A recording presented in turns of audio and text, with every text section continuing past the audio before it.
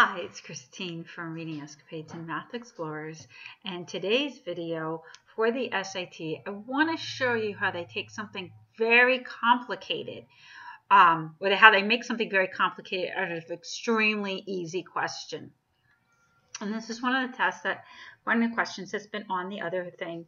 I did change up the colors a little bit as you can see here because there's so much so many numbers we couldn't fit it all on one screen on the test question, as you can see here, this is the question. And most people, including myself for the very first few seconds, say, oh my goodness, what are all these numbers? What is going on here?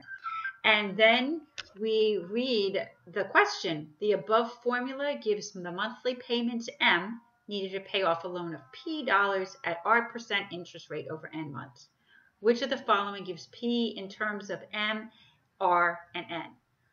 What does that mean? Well, this is where they're taking, they're trying to test something very, very simple, but they're making it difficult. They're trying to test something that you learned in seventh or eighth grade. And so the first thing is this whole first sentence is irrelevant. We don't care about that.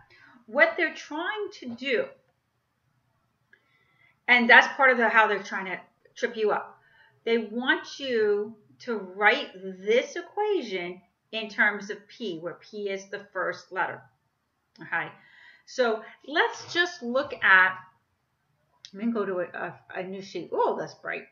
Um, let's go to one.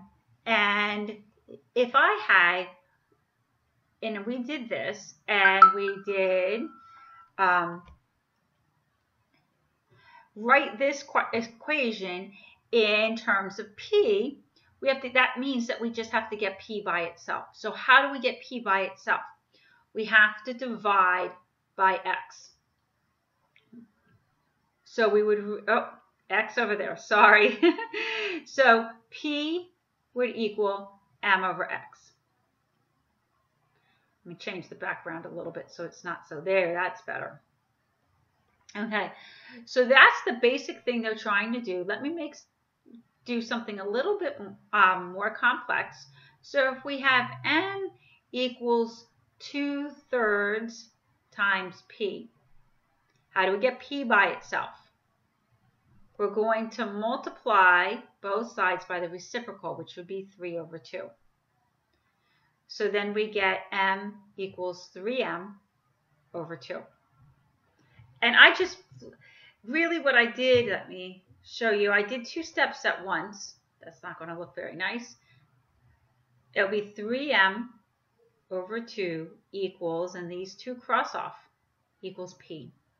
And then I just put p first. These are the same two things, but it's kind of like listening to Yoda speak in Star Wars, where everything's kind of backwards to our ears. So this is like Yoda speak, but this is the correct and proper way. And that's what they're looking for. So if we go back to this page, all right, and if we just take this whole kit and caboodle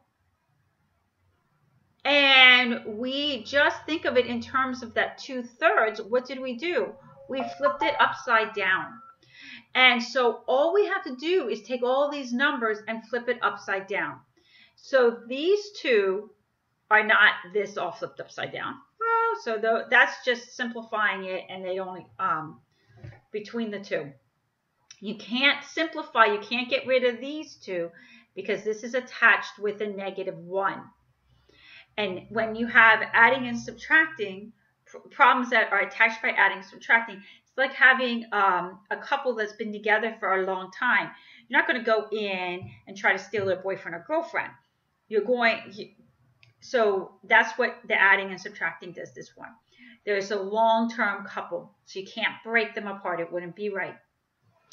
You can do that for uh, when it's multiplied. That's kind of like a casual dating. But this isn't multiplied.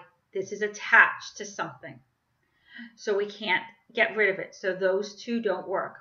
So then we're looking at these. We have to flip the reciprocal of this and so that's where we get this one right here. We have the negative 1 up on the top, and the top has been flipped to the bottom. And that's all they want you to do. All Again, they just want to know if you can flip this to the reciprocal to get p by itself. Super easy question, but they make it difficult with all kinds of numbers. Whoops, involved. Well, good luck on your SAT and uh, stop back again for more videos. Please let me know if this is helpful. Thanks a lot. Have a fantastic day.